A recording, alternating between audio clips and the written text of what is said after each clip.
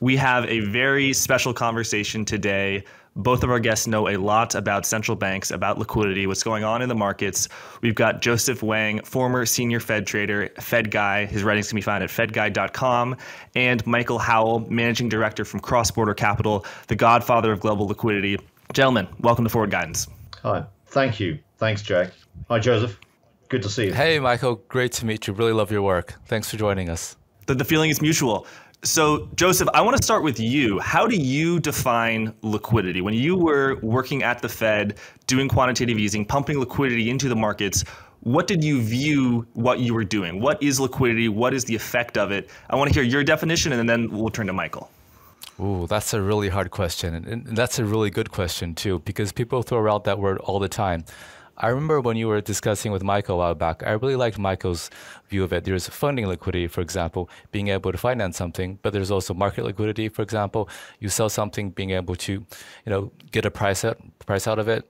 Um, from, from when I usually look at it, though, I, I, look at it more from a balance sheet perspective. So I think look at things like, for example, for for a bank, so deposits at the Fed, which are reserves, or if you're not a bank, so bank deposits or money market fund shares, or things like you know treasury bills and so forth. So there's there's a lot of ways that you can look at liquidity. It really depends on what you're at, what, what you're trying to, the problem you're trying to solve.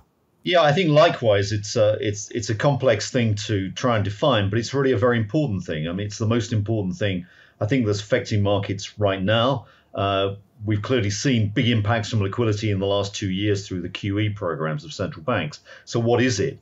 Uh, it's not money supply as normally defined. Uh, money supply is much more a retail bank concept. It's effectively the, the deposits in retail banks. Liquidity is something different for us. It's much more a measure of the financing capacity of the financial sector, the ability to fund positions. Uh, so you can think of it. I mean, we, we try and quantify this uh, in terms of the total amount of credit in the system plus access to savings. And it has many dimensions. It includes what the central banks do. It includes what the private sector, including shadow banks, can create in credit terms, uh, and it also includes cross-border flows. So there's a number of dimensions. But you know, we began to look at liquidity, uh, or let's say me personally, uh, way back in the in the mid 1980s when I was at Salomon Brothers, because at that stage liquidity was really the key thing, or beginning to be the key thing for asset markets. Salomon Brothers, for those of you that don't know, was then the world's biggest uh, trading firm. Uh, it was the market in global bonds, global government bonds, and in forex. And essentially, it was a huge trading platform where liquidity was the key thing. And what we really learned there was if you if you monitor money flows and you know where the money is and where it's going, you've got tremendous insight into where asset markets are likely to move. And we've just established this concept globally and tried to measure it Cross Border Capital produces indexes of liquidity for what is now 80 or 90 markets worldwide. And so it's a concept that we're that defining is something which is very much uh, at the heart of what we do. Now, our perspective on the market and what we called, uh, you know, for in late uh, in late 2021 was to say, look, we've got an upcoming bear market. If it's a normal monetary, monetary correction, you've got to think at least 15% down. If you're thinking of a recession as well, it's 30%. And if you get a banking crisis, which I must say I don't think we're going to get, but if you get a banking crisis, then start thinking of 50% down. But I think it's a 30% one. Uh, it's a decent or decently big bear market, and that's the trouble. Now, the other thing I think to you know to, to also contemplate here is that what goes down must come up, and the reality is that the Federal Reserve oversees the financial system, financial stability, and ultimately the health of the real economy. And the Federal Reserve can only do so much tightening until something breaks. Now, something will probably break because the Fed has now got its focus on getting rid of inflation. That is not going to be an easy task, but they've got to try and squeeze the economy hard. And my view, I don't know about Joseph's view or your view, Jack, is they're going to front load that. Uh, and they're going for it in the next six months. So there's an awful lot of pain uh, which the markets and the economy are going to face. Now, it may be that within 12 months, they're on the reverse course again and they're back to QE. And I think that's not that's not an unbelievable story. uh, I would be thinking very much in terms of that. So for investors, you've got to start thinking about your re-entry point, but please, it's not now. Uh, it's in a few months' time. And that re-entry point will be re-entry into stocks, long duration stocks. It include tech. It will include crypto. Uh, and what you're going to see is some very big rebounds in markets. There'll be some great opportunities to make money. But as I say, please don't jump in yet. Joseph, would you agree that now is not the time to jump headfirst into the into the pool? I'm glad to be on the exact same side as Michael on this. I think that there's a lot more pain to come. And the charts that Michael's show, shown us, it paints a very compelling picture, right? Seems like the liquidity indicators he has and the risk assets move in lockstep. and if you recall earlier, Jack, as you mentioned, it seems those liquidity indicators have kind of fallen off a cliff. So it looks like we have we have more to come. And Michael, that uh, that index, uh, the global liquidity index, it exploded higher to what I believe is a 50 year high in 2020 and 2021, somewhere around mm-hmm. 85. As of May, it was in the mid 40s, a three-year low, and based, I believe you just put out your news report, and it's it's even lower. So when it, when it went to, what does that mean when the global liquidity index goes from 85 to 45, or perhaps even lower? How much of that is central banks? How much of that is private wholesale dealers? And what is the impact on risk assets? So, with the huge fall we've seen in stocks crypto, credit. Uh, how much does that apply? How, how does that apply to you know how much of that is a result of I should say the fall in, in, in your global liquidity index?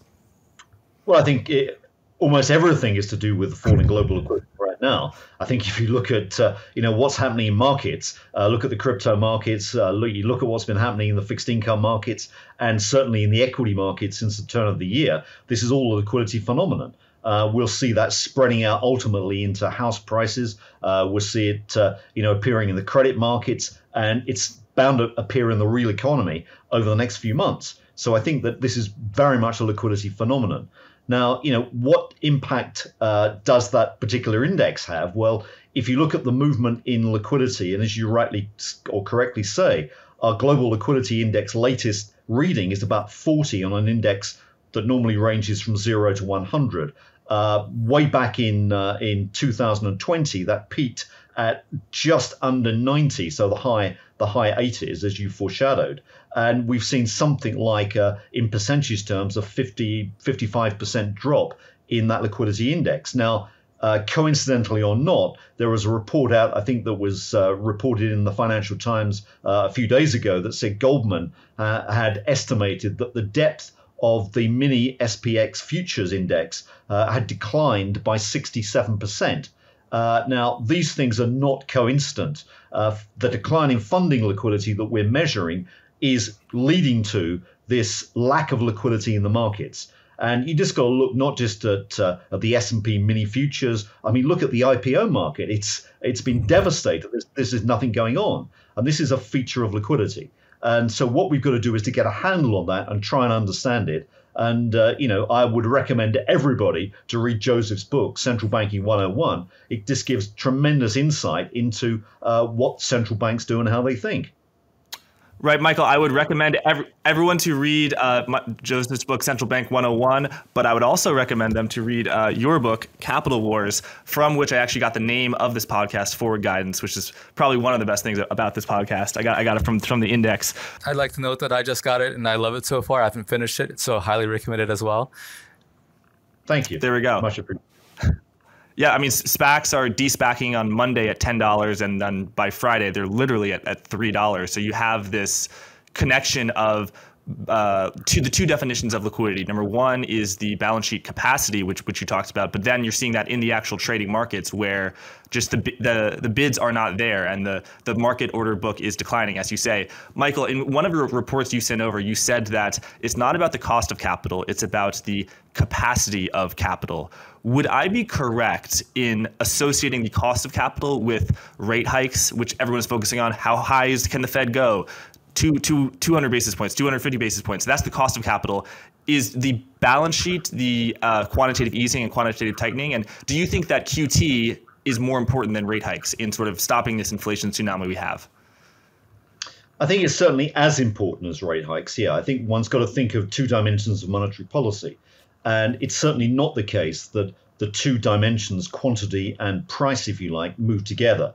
So you could actually have minor moves potentially in interest rates, but they could lead to huge movements in liquidity. And I think this is one of the things to start thinking about. Central banks have got to have got to monitor both dimensions. Uh, all too frequently, central banks are just looking purely through an interest rate lens. Now, if you come back to why quantity is important, and it comes back to the point that you made about the capacity of the financial system to finance positions. Now, if you read textbooks, conventional economic textbooks, you listen to academics, and probably what is driving many central bankers is the idea that the financial system is a financing system for new capital. Okay, uh, in other words, it's a capital raising mechanism. Actually, wrong. It's increasingly and more and more the case. It's a refinancing mechanism. And if you look at the amount of transactions that the financial financial system has to engage in, it's mostly refinancing debt. And if you try and quantify that, let's look at the amount of debt that's outstanding. $300 trillion worldwide. It's a huge weight on our shoulders. But if you take an average five year duration or maturity of that debt, you've got to roll the debt of, you know, effectively 60 trillion every year uh, by simple maths. Five times 60 gives you that debt stock.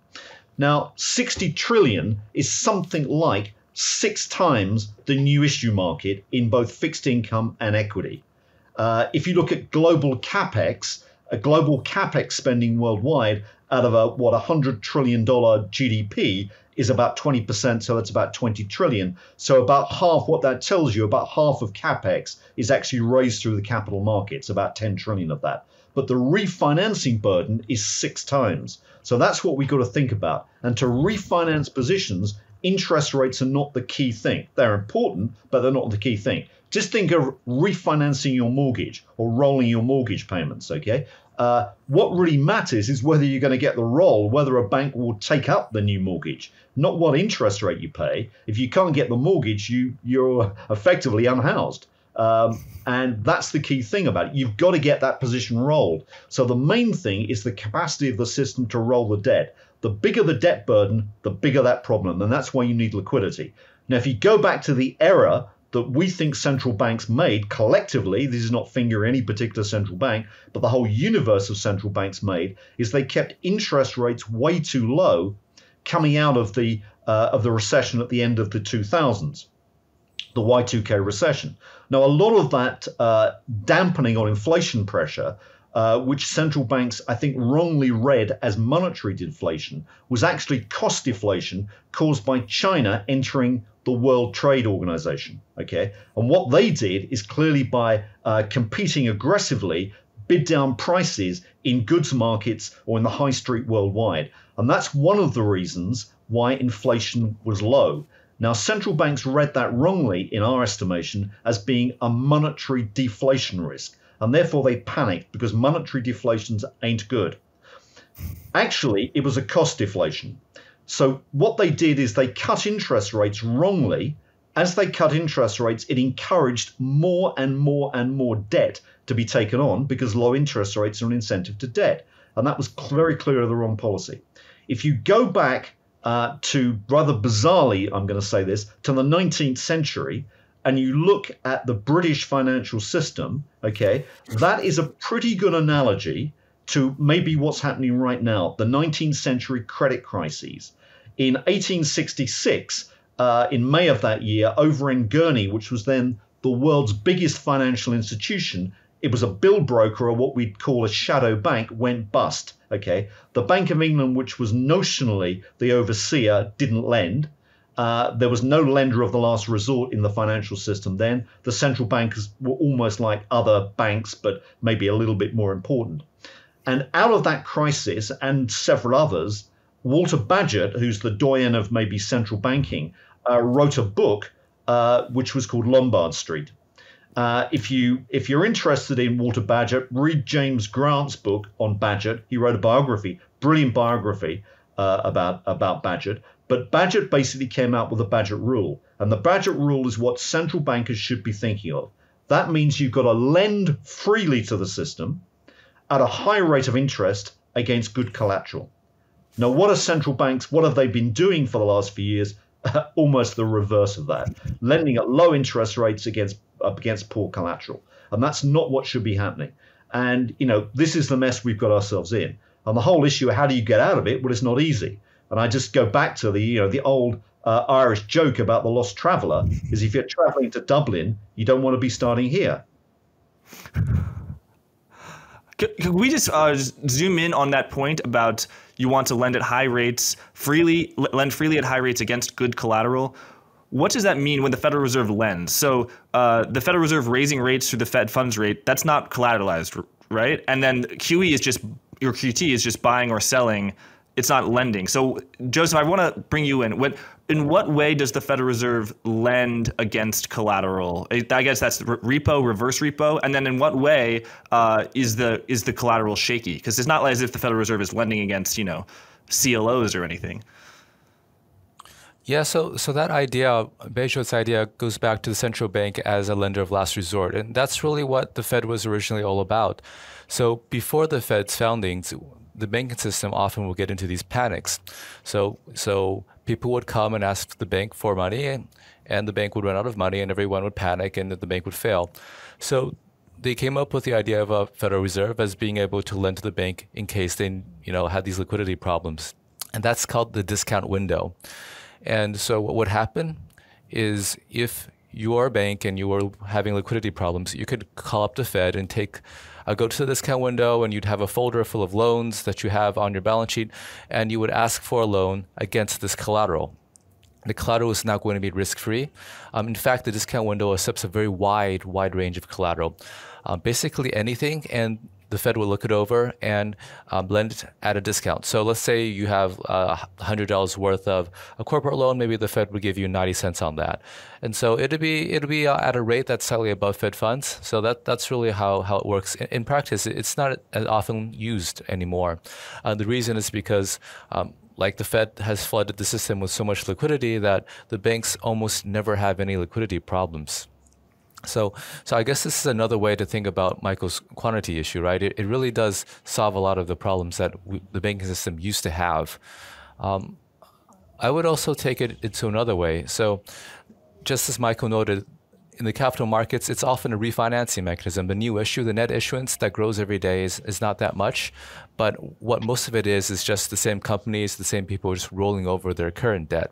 Now, if you've been following us for a while, then you know that at a high level, money can come from a commercial bank or it can come from the government, right? So um, when you're refinancing something, you need someone to have money to lend it to. You You need basically uh, like a bank deposit. And you can have that coming out of a bank, so a bank can actually make the loan. Or if the money has already been created by the Fed, then someone else reallocates that bank deposit that's already been created. So basically through a capital markets transaction, like if you're a hedge fund or something like that, taking your money and, and lending it to a corporation. Um, that's uh, that's another way that this liquidity can move. And if you're doing QT, you're, kind of shrinking away that second part of the money supply. So that again, it's it's a tightening condition. So where quantities come into play, and it's not just about price, as was as Michael noted. I think you know. I mean, there's a way to see this is to look at data, and uh, there's some charts you you can take a look at, Jack, that I think I, I winged over. But you know, one of those, which I think is around slide eight, is looking at uh, global liquidity, and it looks again, it looks at the growth in global liquidity, uh, and it compares that to the growth in asset markets uh, worldwide. And you can see the correlation is, uh, you know, eye-wateringly close. So what this is saying is all asset markets, whether it be uh, equities, whether it's fixed income, whether it's real estate, uh, you know, whether it's crypto, are all driven by this concept of liquidity. The amount of you know the amount of money in financial markets clearly governs what you can buy, and that's you know that gives you a, a pretty decent heads up. What's the uh, the interesting point is that that correlation has actually tightened uh, over the course of the last decade. So it was about uh, you know correlation coefficient of about 0.6. Now it's it's over 0.8. So what you've got is uh, a tightening of correlations. Now, the other way to, to look at this, and I know this is a concept that that uh, that uh, Joseph's also had has got strong opinions about in terms of the future Fed balance sheet, is if you look at uh, a following slide, I think it's maybe a, a slide, slide uh, 15. What this is looking at is net liquidity injections by the Federal Reserve into U.S. money markets. Now, the point that we make here is that the Fed balance sheet per se the reported Fed balance sheet is not really what you want to be looking at. Uh, it's important, but you want to be thinking about the effective balance sheet. In other words, how much liquidity the Federal Reserve puts into uh, U.S. money markets, and that's what the uh, the red line is basically indicating. These are the sizes or the size of the, those liquidity injections. Now you'll see on that same chart we've put the S&P 500 and what you can see is the tracking between the two is pretty close, particularly recently. Uh, the gyrations in Fed liquidity injections have pretty much led to similar gyrations in the market. Now, the point that we've got to make here and we've got to stress is, is if the Federal Reserve is realistic about what it intends to do with the balance sheet and take a look at the estimates that the New York Fed have or projections the New York Fed has put in for the next few years, which is uh, came out of its document on open market operations for 2021. They included in that projections. What you're looking at is a sizable drop in something called SOMA, which, as, as Joseph will will clarify, is the system open market account. Now, that's the amount of treasuries that the Federal Reserve holds. Now, as an interesting aside, those of you who are sci fi fans will know that Soma uh, was the drug that was uh, in Brave New World, the book by Aldous Huxley, uh, and it was the feel good drug that everybody basically had. Well, Soma in the Fed context is the feel good drug, the monetary drug. And somebody at the Federal Reserve at some stage, uh, when they named Soma Soma, must have had a great sense of humor because it, it, it, basically is there. Now, the Soma account is dropping from uh, slated to drop from o- over 8 trillion to basically under 6 trillion uh, over the next three or four years. Okay, that's a big, big drop. But then you've also got to take into account what's happening to the Treasury General account and also reverse repos. I know Joseph has opined on this as well. But you know, our view is that you've got potentially on top of the drop in treasuries, you've also got reverse repos which could uh, move up simply because if rates start to rise, which they clearly are in the US, uh, money market rates will rise at a faster rate than bank deposit rates. So you're going to get a lot of demand for reverse repos from the Fed, from the money funds. Do you think that's right, Joseph? I think that's absolutely right. I think there's a risk that the RRP can actually go to three trillion by the end of the year. There, there's there's a lot of things happening in that space. I mean, one, it's that there's just not a lot of um, money market investments yielding above the RRP. So a lot of money funds are just piling into the RP right now as we speak. And the other is, as you noted, there's going to be people moving out of their checking account, which is going to give them zero, to a money fund account, especially if the Fed hikes, let's say, 3% by the end of the year. So that's going to suck a lot of liquidity into the RRP. It's going to, it could be a very big number. Yeah, and if you you know if you're a a, a monetarist and you look at M2, what you're what what is what could easily happen here is that actually M2 contracts in absolute terms because you're going to get disintermediation out of the banking system uh, into money funds. I mean that's that's not impossible. So I think that one's got to be cognizant of some of these risks. Uh, and the banks will be, if the banks are lending at the pace they're currently lending, and inflation is clearly encouraging them to, or encouraging demand for loans, um, where are they going to get their funding from? So you've got potential. This is the building up to what could be potentially a Federal Reserve mistake. Now, if you go back to the uh, the previous slide, Jack, which was looking at that uh, uh, that uh, chart of the S and P with Fed liquidity injections, and you just do you know simple eyeballing of uh, of uh, what's going on in that data, what it basically says is that if the Federal Reserve is correct in its intention to take two trillion out of the balance sheet, let's say that uh, on my right hand axis, you get two trillion out of net liquidity injections, and you eyeball what the S&P would be, the answer is about 3,200, right? If you take Joseph's projection and you say, well, we're going to lose another 800 uh, billion to a trillion uh, of extra money sucked out because of the of reverse repos, you're talking about 2,500 on the S&P. Now these are eye-watering numbers. We've got to be, you know, these are the risks and equities, and I don't think the market's fully got there yet. And what's more, we've said nothing at the moment about the real economy. Uh, just just as a question, so Michael, in your indicators, have we ever seen a, a tightening this rapid, or at least like the velocity and, and the level? I mean, is is this something that has happened before? Like the level, both the speed of which it changed and the level we've fallen to.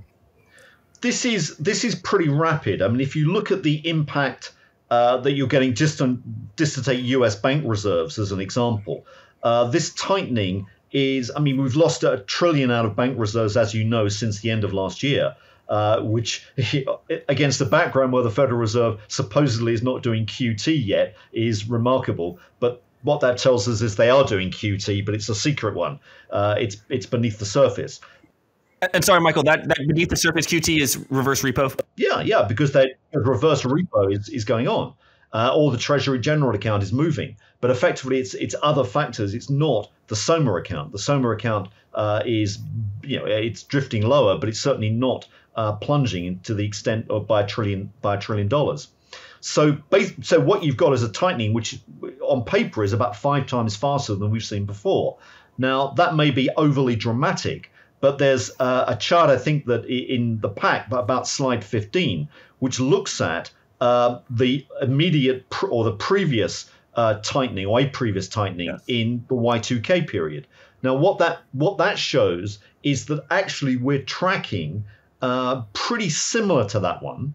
Um, you know, the gradient recently has been uh, has been uh, maybe sharper. So you look at this chart, and basically what that what that shows is the yellow line is the current cycle, um, and you can add a little bit to that where, where uh, current data is basically around 40, so it's got a little bit uh, a little bit lower to drop. Uh, you know, on the chart, this chart's a little, you know, month out of date, but we're getting there.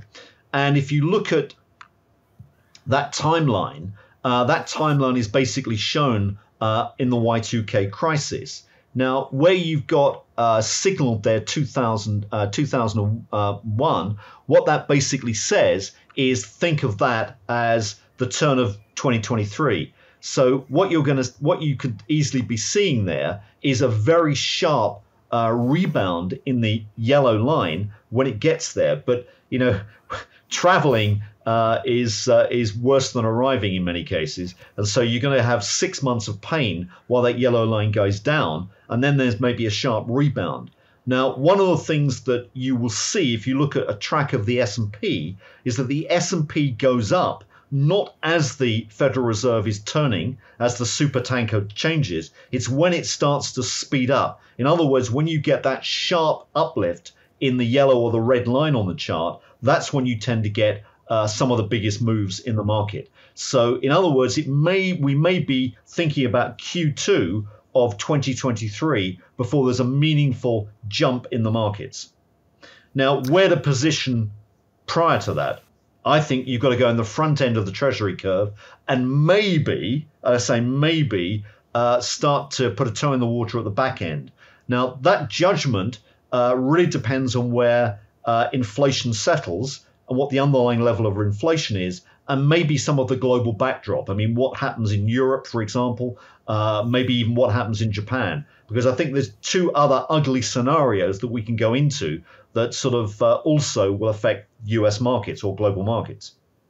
Could, could we just zoom out a little bit, Joseph? Could you speak to the Federal Reserve's appetite to uh, moderate inflation, get back to its 2% inflation goal or, or close to that? And what is it willing to sacrifice in order to get there? You know, historically, a shoot up in high yield credit spreads or a freezing of the credit spreads or a sharp 20% decrease in the S&P 500 was enough for a Fed pivot.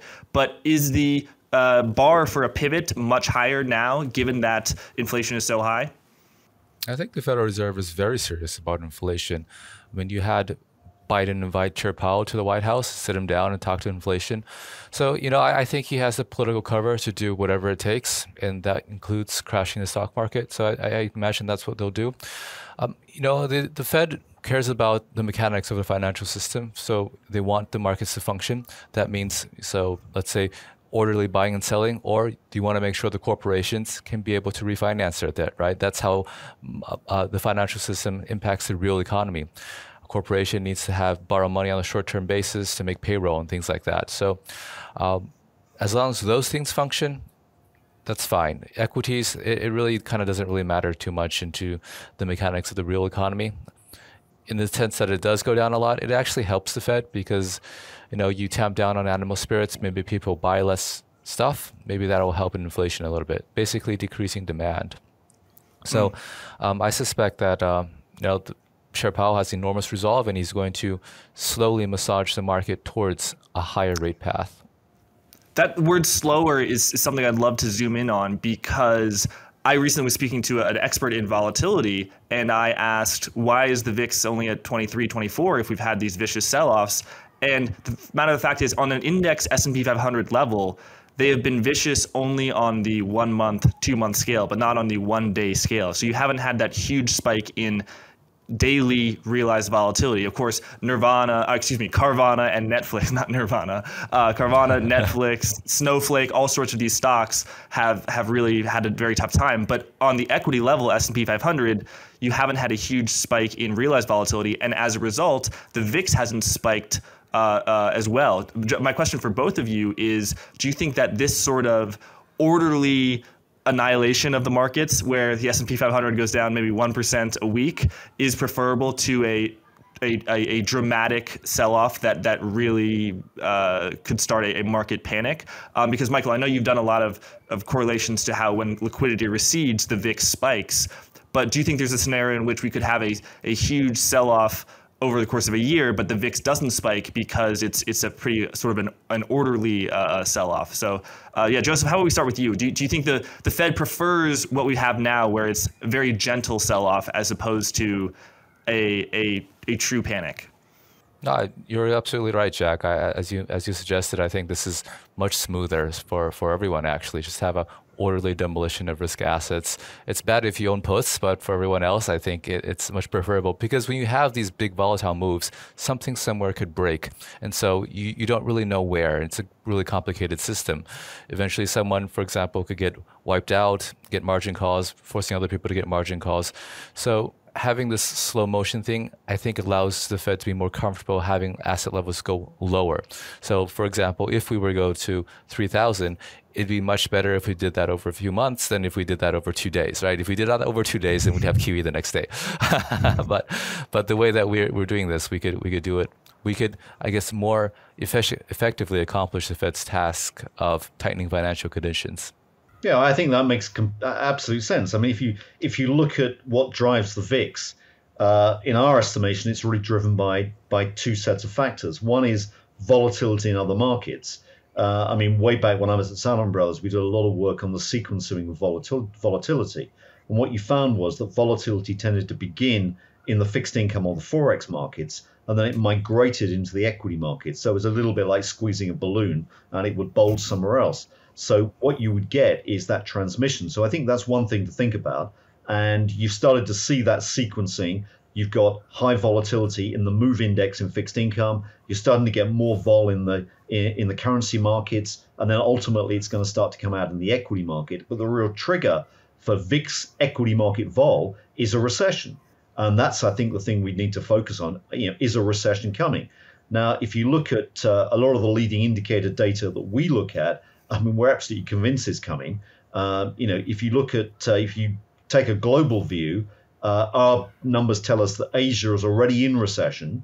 Uh, you know, courtesy of maybe to a large extent China here, uh, but it's in recession. Europe is just entering recession, and the US is probably a month or two behind that.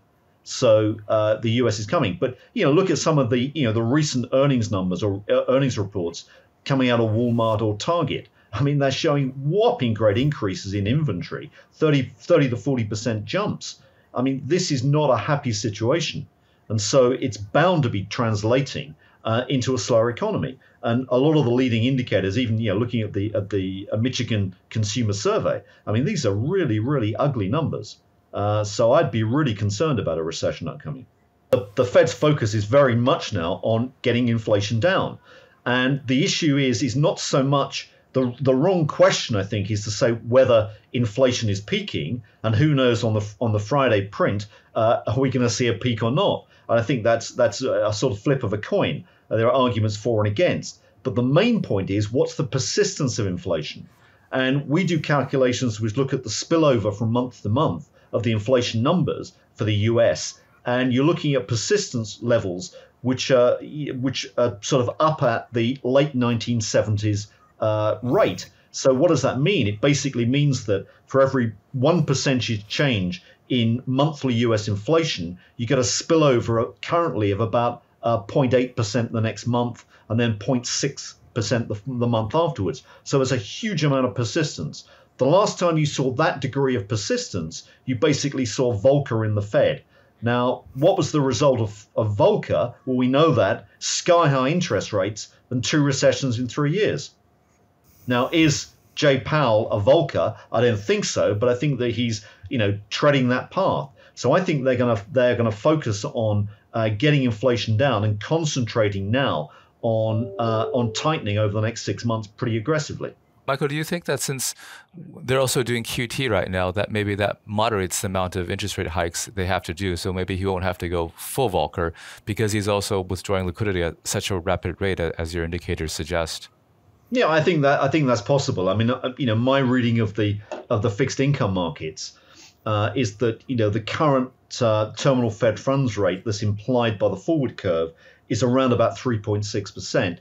And I would be surprised if the Fed can get up to those levels. I think that probably my view would be about three percent is a maximum. Um, give I don't think the economy can take you know anything much more than that.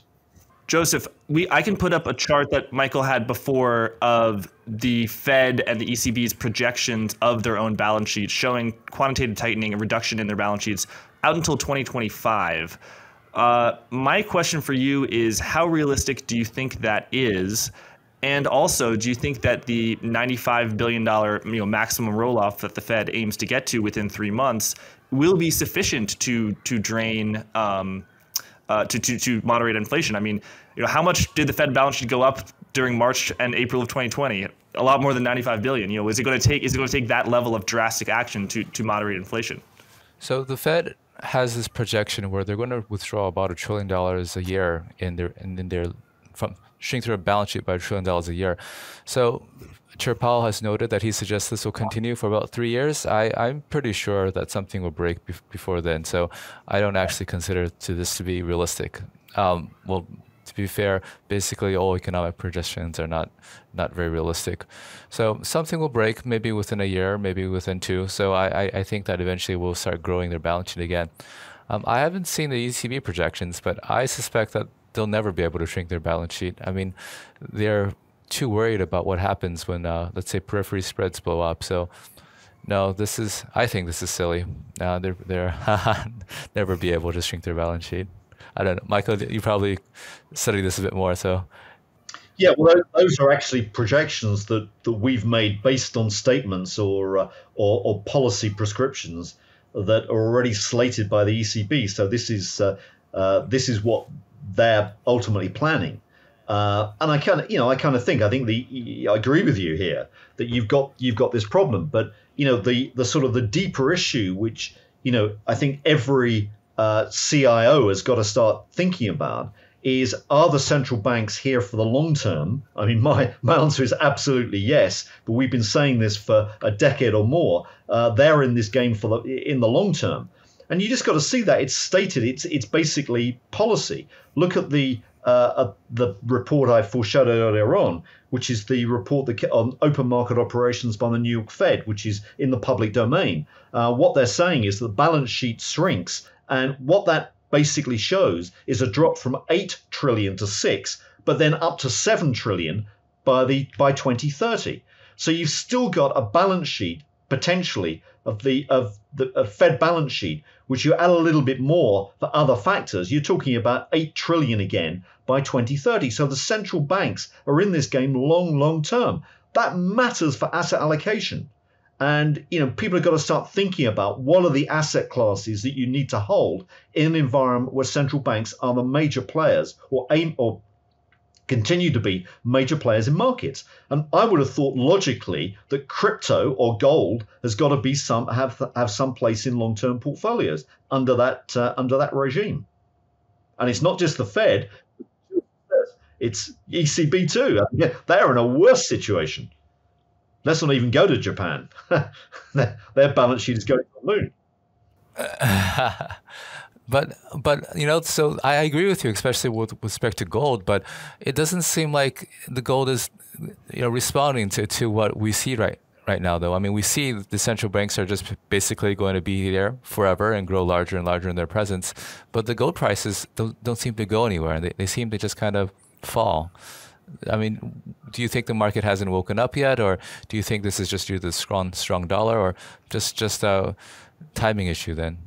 Well, I think that the I think the issue is a, is a timing issue. I mean, we we do analysis which basically uh, combines, if you like, assets that respond to monetary inflation, of which you would say gold and crypto are the are the sort of predominant ones. And the movements in gold and crypto combined as a universe actually match the gyrations in liquidity pretty much one for one. So, uh, you know, the the fact that gold didn't go up when liquidity was expanding meant that most of the impetus was actually shoveled into the crypto market. But you average the two out, and actually it looks pretty reasonable. So it may be that gold flatlines and everything is taken in crypto now. That's fascinating. Michael, you wrote that you think now the Federal Reserve is essentially three times as powerful as it was in 2008. Could you just uh, share what you mean by that? And then I want to get Joseph's take because, you know, Joseph, there are folks who say that the Federal Reserve essentially is just a puppeteer. He doesn't have any real power. And I know you have some perhaps conflicting views with that. Yeah, I think the I think the issue is is that you know let, let's just summarize our view of Federal Reserve policy uh, which is to get the balance sheet down and get the dollar up, okay, or let's say Fed and Treasury policy.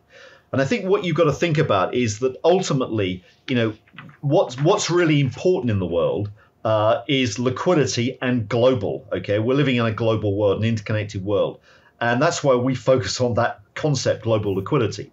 Now, economic power is about the ability to move capital around, and hence, uh, currency and credit are really important. So the dollar credit system is paramount within the world system. Now, there's a lot of debate, uh, which we know, which goes on about is this Bretton Woods 3 or if it's Bretton Woods 2. Uh, it's nonsense, okay? Bretton Woods 1 never went away, okay? What was Bretton Woods 1? It was all about the dominance of the dollar. It was basically setting up uh, a system with the dollar at the heart of the system, which could move trade flows and capital flows around the world, or more specifically, around the free world. It excluded China and excluded the Soviet bloc at that stage. Okay, you had the uh, IMF and the World Bank to police that, and you happen to have as a corollary a fixed uh, exchange rate system. We've got rid of the fixed exchange rate bit, but everything else remains. And the dollar is still at the heart of the system. In fact, it's become more and more important. Now, I think that one of the most or the critical speeches that everyone's got to pay attention to is the speech that Janet Yellen made in April of this year to the Atlantic Council. And it was called Friendshoring. And you read that speech, and what this is about is how the world is going to work. Uh, and the world works that effectively uh, you you are either a friend of America or you're a foe of America. If you're a friend, you get access to dollars. Dollars are critical. If you're a foe, wave goodbye. You don't get access. And that's what's going to focus everyone's mind and you're going to get a cleaving of the world financial system to two bits, one controlled by the US and a nascent one which the Chinese are trying to build. The Chinese have got ambitions, they've got very clear ambitions. In the book Capital Wars, we go through what their pathway is, but ultimately what they're trying to do is to challenge the dollar system. Hence, China is setting up equivalent swap lines around the world uh, to try and you know lure people into the yuan system. But right now, and this is the the you know the geopolitical angle one's got to think about, and it may be that you know we're way way off here in our views, but there is uh, one of the things I learned when I was at Salomon Brothers. The very first lesson was there is no unconnected event, and that's what the traders used to keep saying time and time again. And the point is, look at the yen, right? The yen has devalued over 40 trading days at an annualized rate of 83%, right? Markets never do that to big currencies, only governments do. So somebody is shaking that tree. And what you've had for the last five or six years across the Asian markets is something that many people refer to as the Shanghai Accord, which came out of the Shanghai G20 meeting in the spring of 2016. And that was an attempt to get the dollar, then strong dollar, down. And basically, what happened is that currencies virtually were, static across rates in Asia. There was no currency volatility. There was a de facto Asian euro, hate to use that word, de facto Asian euro, which was basically created. What you've had in the last uh, eight to 10 weeks is that has been broken. Currency volatility in Asia has leapt higher, and someone's shaking that tree. The yen is a Trojan horse, and the corollary of all that is that China is being forced right now to tighten liquidity. We haven't spoken about the Chinese central bank, yes. but the other central bank that's really important is the People's Bank of China. And in April and May, they're normally big months for the People's Bank to inject liquidity into the financial system in China. That's the seasonal pattern. What do they do for the last two months, April and May? They've taken 800 billion renminbi, yuan, out of the system, 120 billion bucks. That's big money and they're tightening Why? liquidity. Why are they doing that if their economy is already in recession? If you look at you know manufacturing PMIs, and then also how does the Bank of Japan? Yeah, it's to try and stop the yuan devaluing through seven. And as I said, someone's shaking the tree. So you've got one big problem there. Now, let me get back to answer your question. Why is the Fed three to four times uh, more important? It's because of Basel III regulations, factors like that, which have constrained banks in terms of their ability to lend, the importance of basically going to the Fed, uh, getting access to the repo, uh, the standing repo facility. Uh, it's things like the tax control of the euro dollar markets back about five years ago under Trump, uh, where money was repatriated back to the US. It's also the FX swap market. I mean, these are factors which are absolutely critical. And the Federal Reserve is basically, you know, turning the dial here. Do you agree, Joseph? Is the Federal Reserve to have the reins? No, absolutely. I think that Oh, well, so they definitely have a lot more power. So if you think back to earlier in our discussion, Fed at, in the beginning was a lender to last resort for banks. And that lender of last resort role has been expanding to basically almost everyone now. So if you think back during the GFC, it expanded its role to lender of last resort to the Eurodollar system through its FX swaps, as, as Mike noted. And it also expanded as lender of last resort to the dealers and the money market funds. Um, and uh, to basically shadow banking sector back. Now, if you think back what happened in March 2020, they further extended their lender of last resort role to include corporations. Right there's a uh, there is a corporate credit facility, and also the Fed tried to make become lender of last resort to to businesses and individuals through um, their PPP loan facility, which is basically working with the government asking banks to make loans to small businesses and people, and the Fed would provide liquidity for that. Now, the Fed doesn't actually have the infrastructure to directly give money to people individually, so they have to work through the banking system. And that's that's the one aspect in their lender of last resort roles. But there's another aspect that they've become a lot more influential as well, and that's through the regulatory aspect. And as Michael Loden noted, Basel III greatly expanded the regulatory powers of the central banks. And now we seem to be moving towards a world where the Fed maybe be able to, I guess, suggest to banks that they have to do certain kinds of lending. For example, you want, we want, maybe perhaps they want a bank to make green loans to support green infrastructure, right? So they, they seem to be pushing towards that model. And to be clear, that's a model that that's it's not uncommon. If you think back, um, let's say. Uh, 30 years ago in, in Japan and much of uh, Southeast Asia, the central banks operated like that. They would basically direct uh, their domestic banks to lend to certain key industries. So it seems like we're moving towards that kind of industry as well. So the Fed is basically becoming uh, much, much more important, both in the financial and the real economy. And I'm not even sure that's a good thing because, as we all know, central bankers, you know, they don't stand for elections, and if you work there, you can never be fired. So you, you don't really know if um, they're making good decisions, and if they aren't, you there's nothing you can do about it. Joseph, what about Absolutely. the federal? So they can, you know, they they've reined in the eurodollar system, uh, according to you both. They have, you know, essentially complete control over the reserves, which they can, you know, control with the the wave of their magic QE wands, QT wands.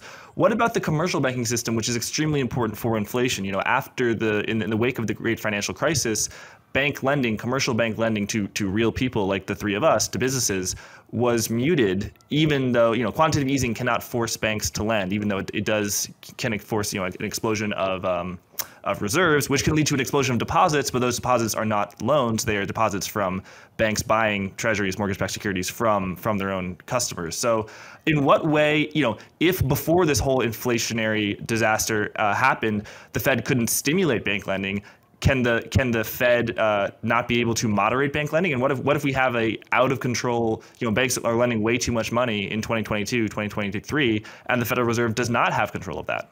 Joseph. Well, that's that's that's the next phase of this. It's the CBDC. It's a new toolkit for the Fed to be so that they can do things like this. Now, this idea, it's actually out in the open.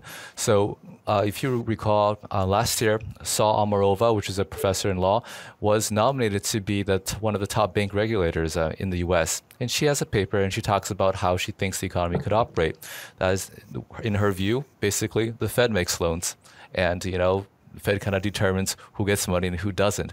It's one. It's a basically further expansion of the Fed's power. Now, we we're we're not there yet. We're still building the technology, but to me, the trajectory, if you look past the past 20 years, across financial markets, across regulation, this is, I think, what uh, many in the Fed and no, a certain faction in the in the in the politics want or want the Fed to move towards and. Um, it's already happening in other countries. If you notice, CBDCs are most popular in countries that have uh, basically authoritarian in structure like uh, like China. So it, it seems that we, we might eventually drift towards a world where the Fed could solve the problems you mentioned, Jack. We just have you know call up Jay Powell and he'll give uh, his friends money. So yeah, you, gotta make sure you have to be friends with the politicians.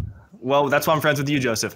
Um, so that's a long that's a long term view. But what about 2022, 2023? You know, CBDC's the Fed Fed coin is not likely coming within the next two years. So I'm just going to put up a chart from your excellent report um, on FedGuy.com, which shows bank credit creation, and you write that unless credit creation in 2022 rivals the historic growth seen last year, bank deposits look set for the first annual decline since the early 90s, which sounds deflationary. But that uh, decline from de- in bank deposits is due to quantitative tightening and the reverse repo facility, not credit creation. And as we know, credit creation is the you know the the sort of the, the big player when it comes to inflationary money creation because it's creating, you know, it's alchemy, it's creating money from nothing. So what if this blue line continues to spike higher and, the, you know, the Federal Reserve, you know, it, it doesn't have a, an ability to stop bank lending, right? I mean, it, it, what, what, you know, what happens if inflation goes to 10, 11, 12% because of this? I think that's an interesting question. Uh, bank credit creation is really strong. So at least some some segments in the economy, um, you know, they're, they're doing okay, at least well enough to continue to borrow. And we're in an inflationary environment. Everything costs more, and everything costs more. You're going to need to borrow more money to buy the same things that you used to buy.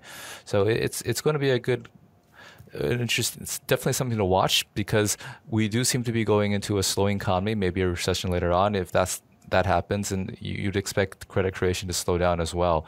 Uh, so far, don't see that, but um, uh, you know, storm clouds seem to be gathering.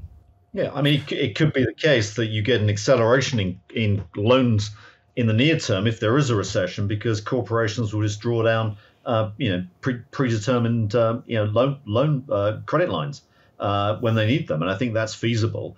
The the issue I, I would you know bring up is how do how do banks fund their balance sheets and that lending in an environment where deposits are shrinking and the money markets are tightening hugely.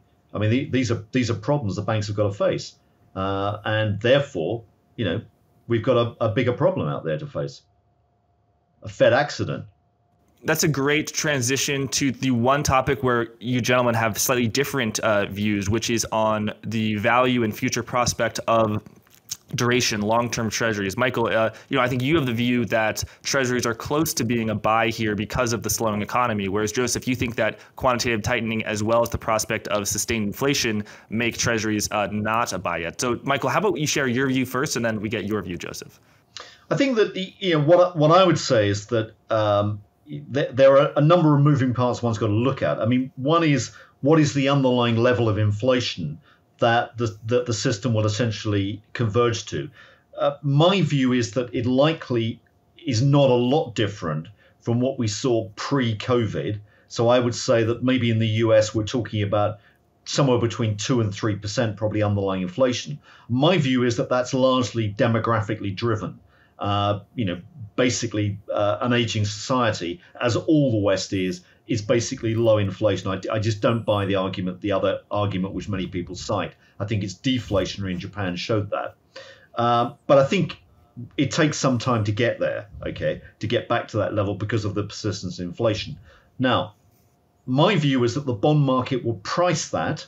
They'll look through any near term surge, and you will not get such a hike uh, or a necessary hike at the front end. Consequently, I would say that maybe 3% is probably the level that Fed funds can go to. Uh, you know, I'll, I'll come quietly and maybe accept a little bit more, a tad more, but at that sort of level. Now, if you look at the at the opportunities for the back end for um, for 10 year treasuries, that's really driven by term premia. And term premia uh, are, you know, a, a factor that are already very negative, but I think they could go a lot more negative. And one of the things that both fixed income and equity investors have got to think about is that equities never rally until there's been a subsequent or previous surge in the fixed income markets. Fixed incomes, 10 year bonds, have got to move uh, price wise up significantly before equities begin to turn. And in other words, what you're going to see is a drop in long yields at some stage. Now, I think that's a recession driven event. So I, will just give my side, and you know, that's what makes a market. So I, I could be wrong. So I, I think of ultimately the fundamental for any asset prices is just supply and demand. And if you look at the supply side of, of treasuries coming online in the next few years and the demand side, it's, it's actually very stark. So uh, if you count for QT, the supply in treasuries the next few years is going to be 1.5 trillion each, and that's a lot for the market to handle. Especially as as we've noted, market liquidity is, is not very good, and so when you don't have very good liquidity, you can have large price moves with just with just small volumes. On on the buying side, you, you'll, note that over the past few years we've had different sets of marginal buyers. So pre-COVID, it was the hedge funds, and they bought you know let's say uh, a lot. So compared to now, compared to then, they've kind of taken down their exposure by almost a trillion dollars. So they were buying a lot of treasuries, part of their cash futures basis trades. Post 2020, it was the Fed and the commercial banks. Fed doing QE, commercial banks, you know, putting their QE cash to work, and now all of that is going away. So um, you're going to have a new buyer. I don't know who it is yet. The foreigners aren't going to step in because when the foreigners buy, they have to FX hedge it, and when you FX hedge it, it's uh, based on front end rates, and front end rates are going higher, so it's not going to be worth it for them. So we're going to have to have a new buyer come in, and it's it's not clear who that is. So there's going to be a phase of price discovery that probably be volatile and probably be much higher. Because if you know the marginal buyers in the past, the hedge funds, they're buying as part of a spreadsheet. They don't actually care about the, uh, where the yields are by themselves. Fed doesn't care, and commercial banks they, are regulatory driven, and foreign banks they're partially regulatory driven and in part uh, because of what they have at home, it's just negative rates. So, uh, if you if you want to move to people who are more fundamental driven, fundamental driven, you you actually need people who who need higher returns, and so that's why I think that rates will go higher and maybe significantly so. And so I'll just present the case for um, dem- aging demographics being inflationary. That's originally from Charles Goodhart of, the Bank of England. Uh, um, I, I used to think that demograph aging demographics was deflationary as well, and that's kind of what I hear most of the time. But this idea of aging demographics being inflationary, I think it's super interesting. And basically, what it's saying is that when you have aging demographics, you have lower supply of labor, and if you increase decrease the supply of labor, you're going to get higher prices uh, because wages go higher. Um, one way to think about this is let's say you're retired. Okay, so tomorrow you're 60 years old, you don't work anymore, right? Okay, so you're no longer producing goods and services in, into the economy. However, you continue to consume. You continue to, I don't know, if you're a boomer, maybe you have a yacht somewhere and you're just kind of living living the high life. So you continue to buy stuff, right? So maintaining demand of goods and services, reduce supply, that's higher prices. So people often point to Japan as the quintessential example of how aging demographics can be deflationary, and that, that is a puzzle. But I think one thing to note, and what, what people who hold this view hold, is that um, in a globalized world, labor is a global pool. So even though Japan itself was aging, when it was going through that phase, um, globally, uh, there's there's still enormous supply of labor from China and from let's say the developing world, right? So, what's changing as we go forward is that China is also aging tremendously and very quickly. In fact, um, you know, they're just because of their one-child policy and so forth, uh, they, they're, they're just going to be aged much faster than, than everyone else. So you're going to have a world with more people who are buying, consuming, and less fewer people working. So structurally, that seems inflationary to me. And not saying that everyone buys bonds based on fundamentals because they don't, but if you do, that's something to keep in mind. But I, I think to argue against myself, I think the other the other two factors to think about here are what other central banks are doing. Uh, and although you know we we dismissed um, the Bank of Japan and or I did the and the ECB, I think they do have some role in the bond markets. And the the reason for saying that is that uh, bonds tend to correlate together much, much more than equity markets do. Uh, anyway, traditionally they have done. And the fact is that if um, the ECB uh, loses the battle on inflation, which it looks like it's doing rapidly, um, you know what's going to happen to the Bund? I mean, the Bund, the charts on the Bund don't look great right now, and that's one of the things that could feed back into the Treasury market. And the other is just you know look at the devaluation of the yen. I mean, we've had a big one already, but it continues to devalue as we speak. And you know, if it can't if it can't keep going, it won't. And at some stage, the Japanese are going to, you know, reality is going to hit, and they're going to have to tighten policy, and that is going to be a, an you know an earth-shaking move. Uh, if they start to do that. So we may get pressure on the long end of the bond market through those two shocks, and we yeah we shouldn't dismiss that. So I'd be you know I'd I'd put a toe in the water at the long end of the market, but you know I'd be much yeah. more comfortable with the front end.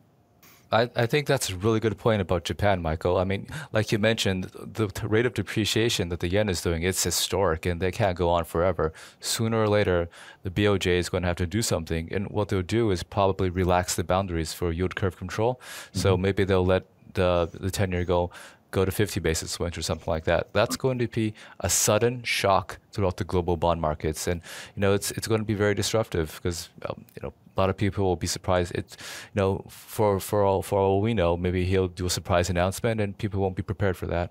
Right. The idea there being that global bond investors look at a German 10 year Bund in the same way they look at a German 10 year treasury yield. They just hedge the FX risk or a 10, a 10 year Japanese government bond. So if the yield on the, the Bund goes from zero to three, then the 10 year treasury should probably go from two to five or something, something like that. Uh, so yeah. both of you expressed a little bit of conservatism about how high the Fed funds rate, the short end, can go. My question is, if we look at the, let's say, the, the uh, financial conditions index, the Goldman Sachs uh, financial index, which is, you know, in some way related, I'm going to guess it's in some way correlated to your global liquidity index. It's probably a little more imprecise and it has more motley factors. It's got, you know, the dollar, uh, interest rates, credit spreads, equities. Uh, how much of that of of the interest rates can, can continue to go up. And you obviously the Federal Reserve has to monetary conditions have to tighten more. So do equities have to go down? Does, does credit spreads have to widen? Um, and and can you specifically speak about why you think perhaps that the, the the the peak is going to be something like 3.5 percent of the Fed funds rate, and that it, we don't get to something like five percent, which is uh, you know obviously a tail risk scenario. Well, I think I mean to answer that question directly, I think that uh, you know you, you don't necessarily need the Goldman Sachs Financial Conditions Index. Just look at the at the Treasury market, and if you dissect the Treasury market, uh, you know my interpretation of, of uh, bonds has always been that bonds basically there, there are two key moving parts. One is the front end of the curve, which is really about interest rate expectations. So look at something like the one uh, the one year, three year spread or one year, five year spread. That tells you a lot about what the market's pricing in uh, for Fed rate hikes. But look at the back end, and that will tell you about term premia. So if you look at the 510 spread, okay, that's really a, a crude measure, but not a bad measure uh, of what the term premia on the bond is.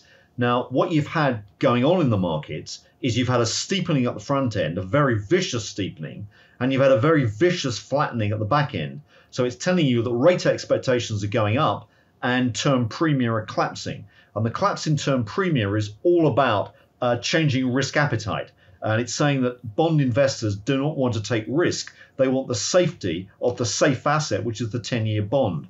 Now, basically, what, that, uh, what that's telling us from a corporate point of view is that corporations are raising money uh, around about the three to five year area. So, number one, their cost of financing has gone up hugely because of the front end rise. And secondly, that the appetite for their debt has collapsed uh, simply because uh, the of the uh, negative or much more negative term premium.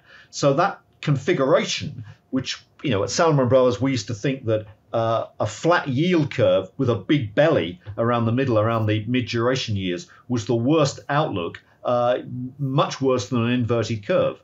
And that's exactly pretty much what we've had now. So what you've got is a curve with um, uh, an, a, a pretty fat belly, which is actually that the chart that you're showing kind of shows that, but it shows that there's a big extension around that middle area. Uh, and what you need to look at is to dissect that into the front end movement uh, and the back end movement. What that is looking at is um, the black line is rate expectations. Um, so that's the uh, the one year forward, ten years out, uh, and that's sort of you know suggesting terminal Fed funds around three and a half percent. And then you've got the orange line, which is which is term premium, and that is basically a measure of the risk appetite of investors in the fixed income markets. And what you've seen is this big collapse. Now that uh, pattern where you've got the black line crossing the orange line is what you might call for the credit markets the the sort of death cross, uh, because it mm. says that within 12 months you're going to get a big problem in the credit markets.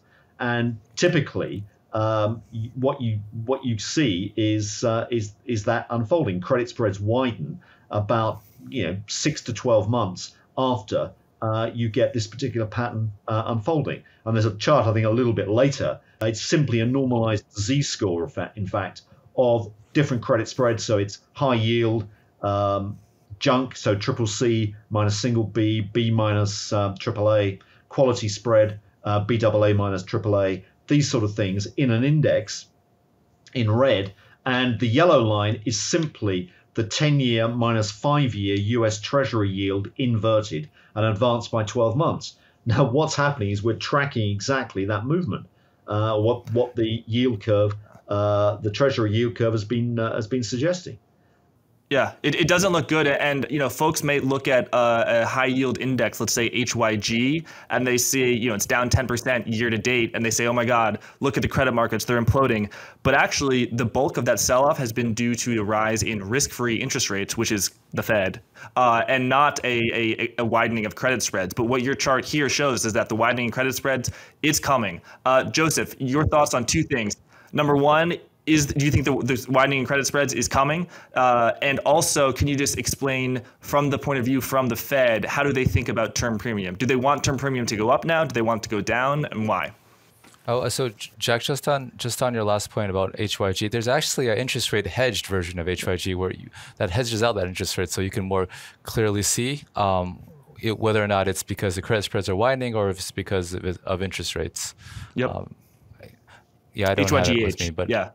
HYGH, yeah. So that, that would be able to show your point very well. So I, I think the Fed will definitely cares about term premium and they want it to go wider, and that's what QT is all about. So again, if you think about QE as trying to compress term premiums so that everyone will, you know, shift their portfolios into other assets or take out loans to buy houses and things like that, well, QT is the opposite. And how does the Fed think that it can expand term premium? It's by selling, well, letting the market digest more treasuries. So that's what they're going to try to do um, over the next uh, next few months. So it, it's QT for treasuries is always a bit strange. I mean, for, for agency MBS, for example, once QT was coming, you know, the market was aware of it, you can see the spread between agencies and 10 years widen pretty significantly. Um, for, for treasuries, it, it hasn't been that much. So um, I'm not really sure if the market is slow or um, or what else is happening. But over the coming months, there's going to be a lot more, a lot more treasuries coming on onto the market. So uh, I, I would think that to me that makes sense that we'd see term premium widen a bit going forward. And I'm not I'm not sure how credit spreads are, uh, will be for going forward. Michael's charts were very very compelling, so it makes sense to me that they would widen as well. Yes, well, history is definitely on the side. I mean, the, the charts show that clearly. If it were not to happen, it would be a departure from from history. Michael, you've got a few more fantastic charts I want to go through. Let me see if I can find it. Oh, it's about good liquidity and bad liquidity, and it's got a sort of a table. And I want I want you and Joseph to explain uh, what's going on here. So, what's good liquidity? What's bad liquidity? And why does it result in changes in FX markets, uh, uh, currencies, as well as yield curve? And where are we now? What have we seen? Okay, well, the the the basic idea about this is this is how our our methodology operates, and what we think of is is in terms of both the quantity of liquidity and the quality mix of liquidity. Now, the reason for looking at this is this is what drives both the forex markets and the fixed income markets, uh, where we take the yield curve as probably the best measure uh, of the fixed income markets. Effectively, the yield curve is summarizing uh, both rate expectations and um, uh, and term premium. Now, what that what that basically is saying is that good liquidity is liquidity that the private sector is creating. It's good from the perspective of how the market, particularly the forex market, views that. So if you have private sector liquidity, let me give you examples of that. So for example, if you get corporations creating lots of cash or households managing to produce lots of savings, that's cash that's that cash generation is probably coming from a vibrant economy and a vibrant economy will cause the uh, currency to strengthen, right? But if the Federal Reserve starts printing money, expanding its balance sheet, that's bad liquidity from a forex point of view, and the currency will weaken. So what you want to look at from a currency perspective is to subtract Fed liquidity from private sector liquidity creation. And that tells you about how the forex markets are moving. Now, the traditional academic view is not to make that distinction. And what academics do is to lump all that money or liquidity together and start to look at liquidity for the US versus liquidity for Canada or Mexico or Japan or whatever. That's not the right way of doing it. If you do it this way, you get much, much more accurate projections of currencies. So what we're doing is looking at this quality mix and then taking that relative. Now, the other dimension is then to look at what um, drives the fixed income markets, and that's the sum of liquidity. So, in other words, it's the pure quantity and not the quality. So, if the private sector creates liquidity, it's creating lots of cash. The Federal Reserve creates that cash. Domestically, investors are not too bothered about where it comes from. And if there's lots of liquidity, they can just use that liquidity and they go out down the risk curve, shun government bonds, and go into stocks or crypto or commodities or credit. Make sense? I think that's a yes. really good distinction between private and, and public. I mean, if you're private liquidity, you're created by a bank, right? So a bank makes a loan to someone who's going to be able to pay them back. So likely it's, let's say, to an investment that actually is has a chance of being successful and paying the bank back. So you, you it's uh, well allocated, so to speak. But central bank liquidity, ultimately, that's providing money for the government to spend, and you know they just kind of you know, give that away to their friends and stuff like special interests or whatnot. So that that's, I mean, they don't care if it's well located or not, which is the key difference. So I think that's a really good distinction. Michael, why is the uh, People's Bank of China not stimulating, given that their their economy is is close to slash in recession? You said it was because they wanted to protect the value of the yuan. Why is that a strategic priority if China has so many uh, trillions and trillions of, of dollar reserves, treasuries. You know, historically, I don't think of a, of a yen depreciation as something that China has, has been worried about. I think that you know if you if you look at um, the evolution of capitalism, uh, what you tend to find is that as capital becomes mature, uh, it wants to export itself. It wants to go international, and you need purchasing power to do that. And effectively, a strong currency gives you that purchasing power. Now, the Chinese basically want the yuan to be used uh, as a vehicle currency and as a savings currency, and a strong yuan will basically enhance that uh, that situation. Or let me put it more more you know, or, or, maybe in a more anodyne way, they want a stable currency, at least a stable currency. Stability is what the Chinese really look for. Now, I go through this in the book Capital Wars, but basically, uh, I start with a quote from uh, a general from the People's Liberation Army that says the goal of the Chinese uh, authorities is to challenge the dollar. Okay, they want to get rid of the dollar, particularly within Asia, and the route to do that is basically three paths, in my estimation. It's number one is redenominating Chinese trade in yuan and developing a trade credit system among Chinese banks. Uh, why is that important? Because that's how the dollar got onto the map uh, after World War One. Exactly the same formula. Uh, basically, uh, the dollar kicked out sterling within a very, very short space of time because more and more trade after World War One was in dollars, and U.S. banks were allowed to come in by the Fed to transact that. Okay. Number two is they open up their bond markets uh, to foreign money. They're not interested in what the equity market's doing. They're interested in what the bond market's doing, and that's the key thing. And they've already sucked in a lot of money uh, into uh, Chinese government bonds, and that's important. The third thing is to create a digital currency that will allow peer-to-peer transfers. They are what? Who anyone can estimate five years ahead of America on doing that, uh, but they're basically doing it. And so what you've got is the uh, you've got the ability of the Chinese now to increasingly challenge uh, the US dollar within Asia. And they're beginning to do more and more trade denominated in yuan. Now, the critical question that people that don't believe this have got to ask is why is China setting up so many swap lines, yuan swap lines, around the Asian region? The only conceivable reason is that those swap lines are there for yuan denominated trade ultimately. So basically, they're preparing a Euro RMB. Yeah, I think that's that's the that's the thing. Now, the way to stop that is to start shaking the tree vigorously, in my view, and to basically put pressure on the yuan. And that may be being done, as I said, and it may be a pie in the sky view by the yen as a Trojan horse because it starts to break that uh, stability. And it puts a lot of pressure on China given the integration of the Japanese economy with China. Look at the won, Korean won, that's also devalued uh, recently in line with what the yen has been doing. So a lot of pressure is being heaped on the yuan and it's weakening, but the Chinese are trying to hold that back. So if you look at the interventions, uh, or in other words, the, the money market movements, let's say, in China over the last um, 10 to 12 weeks, they've been absolutely uh, in line with strength or weakness in the yuan. Wow and that long-term geopolitical macro realpolitik objective is going to take number one priority over the strength of the Chinese economy, the health of Chinese real estate and stock market and credit markets. That that is number one. Until it doesn't, and course, that's the point.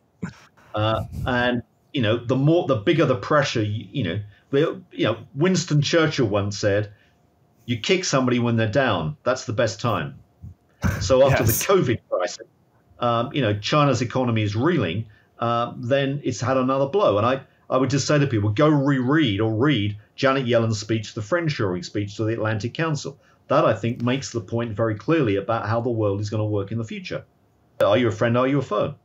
Oh, yes. Uh, Michael, people have been telling me for probably almost nine months now that the Chinese credit impulse is going to bottom. Has it done so already, or are, are we still not there yet? No way. I mean, you know, as long as I've been looking at China, which is you know 15 years or so now, um, looking at it intensively, people have been saying it's around the corner. The Chinese are going to ease, they're going to ease, they're going to ease, they're going to ease.